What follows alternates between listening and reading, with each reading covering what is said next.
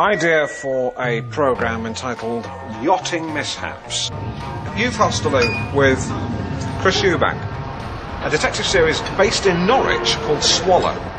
Arm wrestling with Chas and Dave. Like the Cook Report, but with a more slapstick approach. The questions are ready. Now it's time for the answers. Andrew Neil presents the new Sunday Politics, looking at the big issues from Westminster and across the UK. Starts Sunday the 15th of January on BBC One. Monkey tennis?